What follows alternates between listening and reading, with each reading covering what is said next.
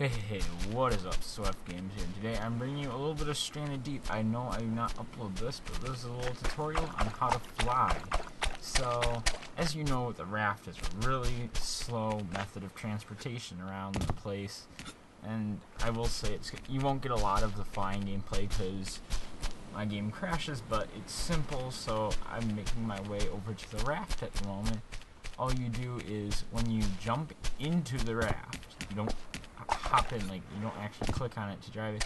You jump up and you right click it and then you get in the middle and sprint.